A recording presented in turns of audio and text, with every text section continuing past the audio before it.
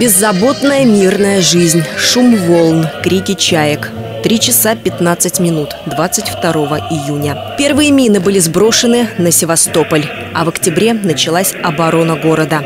Она продолжалась долгих 250 дней и ночей. Жители Одинцовского округа вспоминают моряков, которые неимоверными усилиями сковали крупные силы противника на южном фланге Советско-Германского фронта. Эстафета «Салют Победе» продолжается. Зарождалась она здесь, в городе Голицыно. Когда первый глава, который ее подхватил, это был Александр Дудоров. Пограничном институте мы провели большой форум такой по военно-патриотическому воспитанию и дали старт этой эстафете.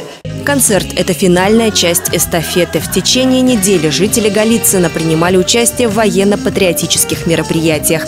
Активнее других – воспитанники детских садов и школьники. Было проведено несколько квестов, э, спортивные мероприятия, э, викторины, конкурсы, выставки рисунков. Ну, традиционное такое мероприятие, но оно вот в рамках празднования в этом году 75-летия Великой Победы очень актуально это звучит тема, поэтому это как-то вот вдвойне получилось вот так торжественно и красочно. Копия Знамени Победы, самозарядная винтовка СВТ-40 и ящик для переноски мин – символы шестого этапа эстафеты «Салют Победе». Всю неделю они хранились в Голицыно.